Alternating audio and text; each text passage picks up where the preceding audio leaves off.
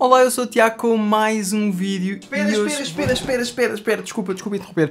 Só para dizer uma, duas, três coisas. Antes de mais, agradecer por todo o vosso apoio no vídeo, no vídeo passado. Grandes comentários, a sério mesmo, muito obrigado. Só posso reforçar a mensagem que passei lá, que sem vocês eu não estaria aqui e vocês são mesmo brutais, a sério. Agradeço mesmo do fundo do coração. O que, claro, é sempre uma excelente motivação para continuar aqui a trazer mais e melhores vídeos e hoje é um dos tais que foi muito pedido, mas já vamos falar disso. Só queria dizer que ao longo deste vídeo parece que estou assim com um tom um bocadinho negativo em relação ao Mi Mix 3. Calma, isto o OnePlus 6.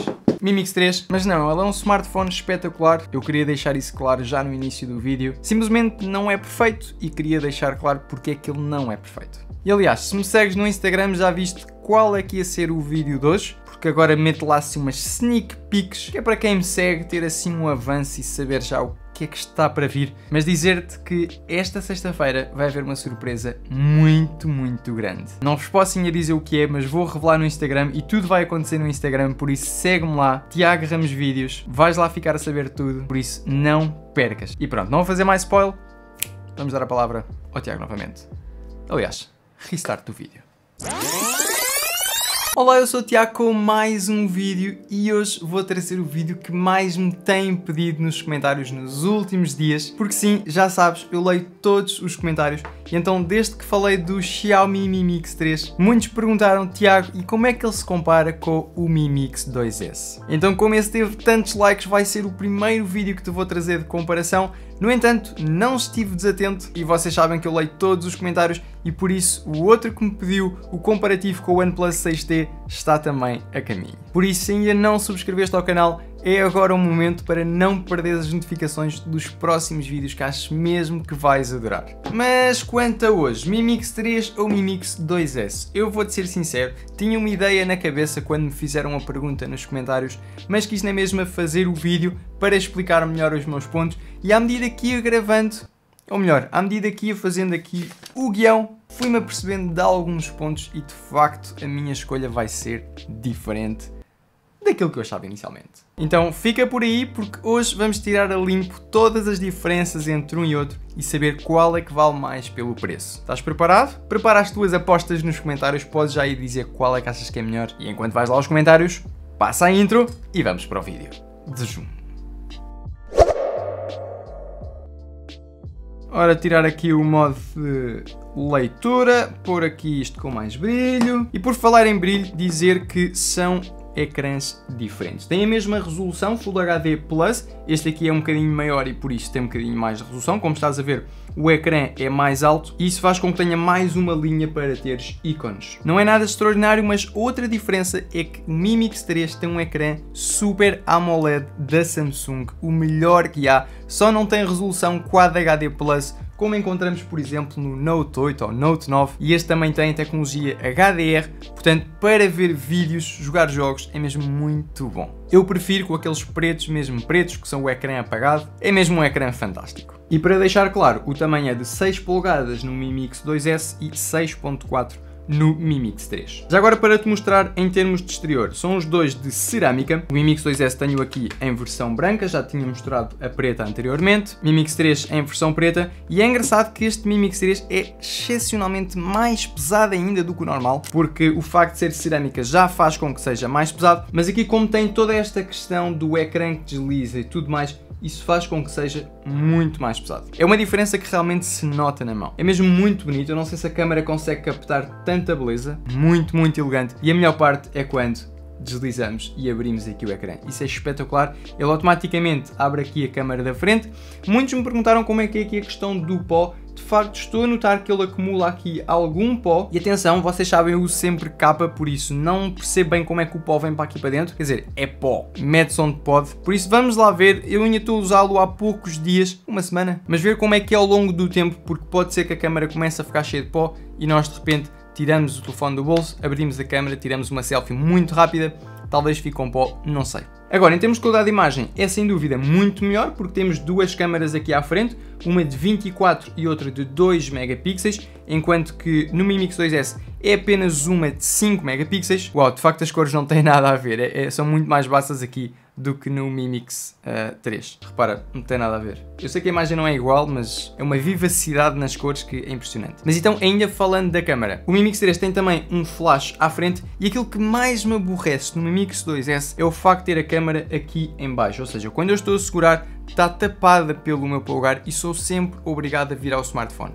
Ou ao contrário, ou na horizontal, o que for, não é prático, não é direto. Até porque, embora sim seja verdade que a aplicação da câmera da Xiaomi vir automaticamente, ou seja, quando nós viramos o smartphone, ela não vai achar que estamos a tirar uma fotografia da frente de pernas para o ar. A verdade é que há outras aplicações que sim fazem essa interpretação, por exemplo, no Messenger, que é uma que eu uso muito para comunicar. Tento fazer, ou então o Instagram também, quero fazer um Insta Story e tenho que fazer o Insta Story ao contrário, é muito mal. Por isso, adoro o facto de estar aqui à frente, adoro também esta questão dos deslizes. Isto é tão agradável.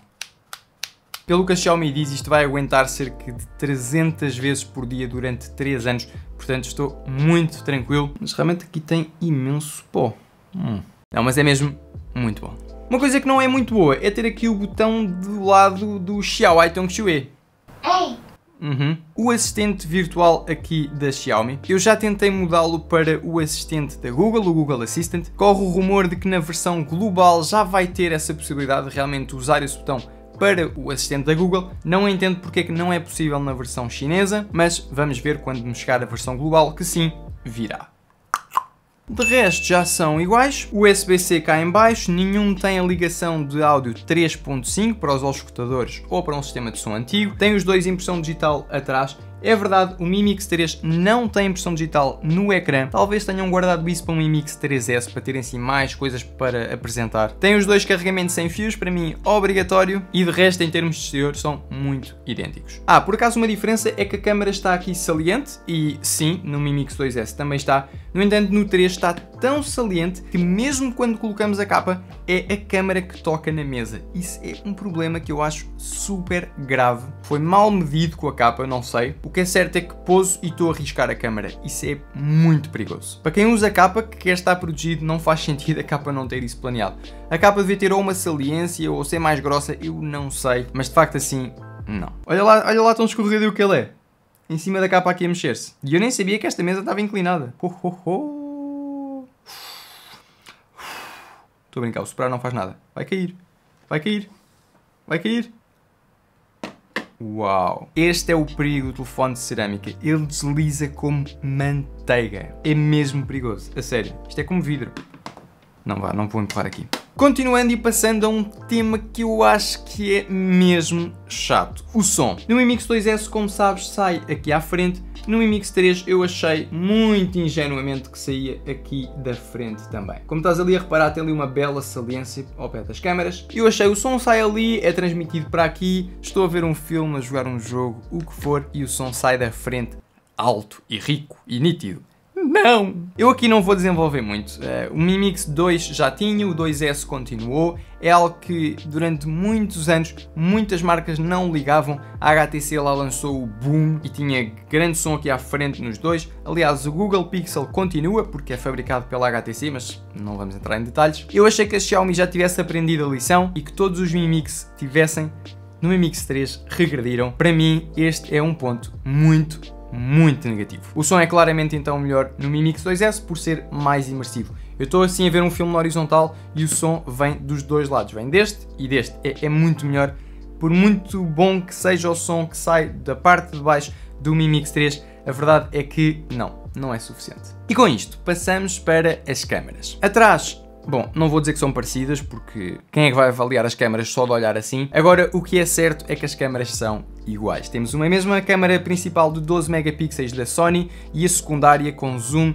também é de 12 megapixels da Samsung. Mesma abertura, mesmo tudo, são as mesmas câmaras nos dois. E tu perguntas, Tiago, como é que isso é possível tendo em conta que o Mi Mix 3 tem uma pontuação melhor no DxOMark? É uma referência internacional que, pronto, a Xiaomi até se tem portado bem nesse comparativo. Então a resposta à pergunta de como é que este tem melhor pontuação que o Mi Mix 2S se as câmaras são iguais é porque a Xiaomi melhorou o software e essa melhoria vai chegar e na verdade já chegou ao Mi Mix 2S. Por isso este já grava a 960 frames por segundo a 1080p, é algo que não acontecia antes, mas exatamente com a vinda do Mi Mix 3 esse software foi também aplicado ao Mi Mix 2S, portanto já filma um slow motion muito melhor e também na câmara de trás já tem o novo modo de noite que capta uma fotografia durante alguns segundos e fica muito melhor do que antes. Aproxima-se daquilo que a Huawei também consegue fazer e que foi quem introduziu isto no mercado, na verdade, e que faz muito bem. O Mate 20 Pro tem resultados incríveis e a Xiaomi tenta imitar isso com o Mi Mix 3 e tenho a dizer que gostei dos resultados. São realmente diferentes daquilo que nós tínhamos antes. Por exemplo, com o modo aqui inteligência artificial e HDR on era sempre aquilo que eu fazia quando queria tirar assim uma, uma fotografia mais difícil. Neste caso então, como estás a ver com o modo noite, é bastante melhor. Eles são iguais, já tirei fotografias lado a lado, gostei mais do que então as fotografias de noite sem esse modo. Os resultados são idênticos, como vês aqui lado a lado, não dá para saber quem é quem. Fiz isto com várias fotografias, portanto não te vou fazer aqui um comparativo da câmera, porque a câmera é simplesmente igual. Sinceramente, sim, fico contente que eles tenham conseguido melhorar o software, mas fica algo triste que usem exatamente a mesma câmera 9 meses depois. Estava à espera que fosse, nem que seja um bocadinho melhor, mas ficar igual é andar para trás. Na tecnologia é assim que funciona. E quando andas para trás no som, andas muito para trás. Mas não ficamos por aqui. Vamos passar ao capítulo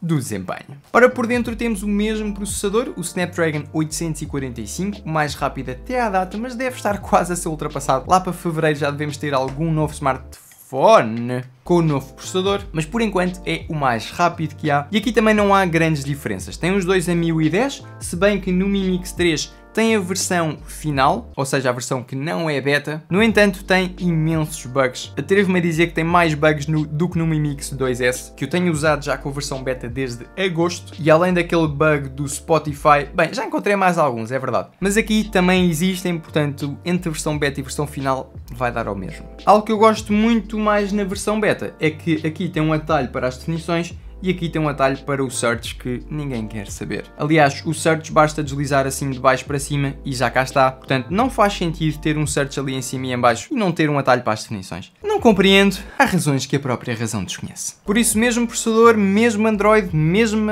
sistema operativo, igual desempenho. E com isto passamos ao quinto e último capítulo que eu acho mais importante num smartphone que é a bateria. E aqui só tenho más notícias. A sério, tenho mesmo péssimas notícias. O Mi Mix 3 tem um ecrã maior, isso pode fazer com que gaste um bocadinho mais, mas como, se é, como é AMOLED então pode compensar. Mas o problema mesmo está no facto da bateria estar mais pequena. Passou de 3400 mAh para 3200, sim, num corpo maior. Eu sei, o sistema do slider ocupa espaço, mas para mim não é justificação. Teriam feito o smartphone mais grosso, maior, o que quisessem, até porque ele não é nada leve, pesa 220 gramas, este aqui eu creio que está nas 180, 190, portanto é uma diferença muito significativa, não custava nada terem feito um smartphone um bocadinho maior para garantir que a bateria era boa, que tinha bom som e pronto, eram os pilares importantes, eu acho que deviam ter feito isso. Em termos de resultados reais, estamos a falar de 6 horas de ecrã no Mi Mix 3, estamos a falar de 8 horas de ecrã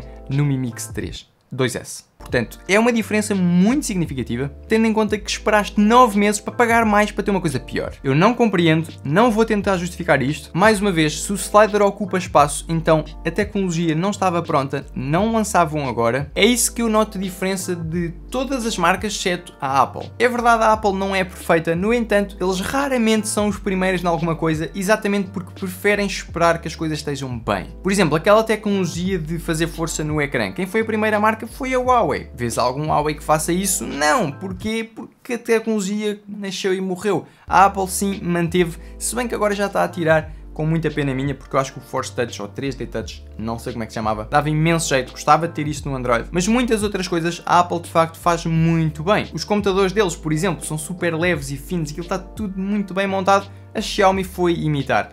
Nisso Xiaomi deves imitar. Agora inventar coisas más só para dizer que é a primeira Não percebo. Estou muito curioso para conhecer o Honor Magic 2. Muitos de vocês me têm pedido nos comentários. Sim, ele vai chegar aqui ao canal. Subscreve para não perderes. E estou para ver se a Huawei fez esses cortes que a Xiaomi também fez aqui. Som, bateria, nomeadamente. Porque sinceramente fica uma posição difícil de recomendar o Mi Mix 3. Eu não te quero dizer, olha, compra este. Não, quero-te dar os pontos positivos de um e do outro e tu podes decidir aquilo que é mais importante para ti. Por isso, aquilo que eu descobri ou que vi que eram os pontos mais fortes e que faziam sentido na compra do Mi Mix 2S são exatamente um preço mais reduzido, um peso mais leve, é também mais fácil de agarrar por ser assim mais pequeno ou menos grande, não tem o botão irritante da Bixby, tem melhor som e melhor bateria, estes dois últimos são fundamentais. Por outro lado, no Mi Mix 3 encontrei apenas três razões, é mais bonito, tem o slide que eu gosto imenso e a câmera da frente é melhor é só isto. Não há rigorosamente mais nada, o desempenho é igual, a câmera é igual. Ah, o som, a, a, a imagem, calma lá, buscar aqui a caneta. Ecrã Super AMOLED. Ok, é um ponto importante o ecrã. Mas lá está, justifica pagar mais 200 ou 300 euros por causa disto?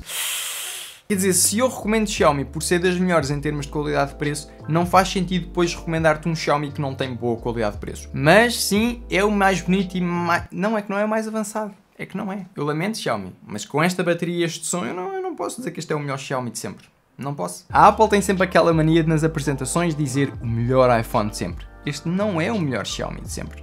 É inovador, gosto do slider, a sério, estou mesmo... É, é, isto é vício, é, é brutal. Agora, justificar o preço é difícil. Não consigo, por isso deixo para ti e pergunto qual destes dois é que tu comprarias ou, se não vais comprar nenhum, qual é que tu achas que deve ser o meu smartphone pessoal para o dia a dia? Mi Mix 3 ou Mi Mix 2S e porquê? Tu é que vais escolher, diz-me então nos comentários. Gostava mesmo de saber qual é que é a tua opinião, por isso passa por lá. Já sabes, se gostaste deste vídeo não te esqueças de deixar um like e se adoraste então subscreve para não perder os próximos. O OnePlus 6T, muita coisa sobre este senhor a caminho, vais adorar. Quero também trazer o Honor Magic 2 que muitos me pediram e pronto. Desculpa não ser portador de grandes notícias com o Mi Mix 3 hoje, mas é assim, sou só o mensageiro. Don't shoot me, chutem a Xiaomi. mas pronto, por hoje é tudo. Espero que tenhas gostado. Links na descrição com os métodos de envio super rápidos com descontos. Aproveita Black Friday esta semana. E agora sim, acho que já não tenho mesmo mais avisos a fazer. Por isso, por hoje é tudo. Muito obrigado e até o próximo vídeo.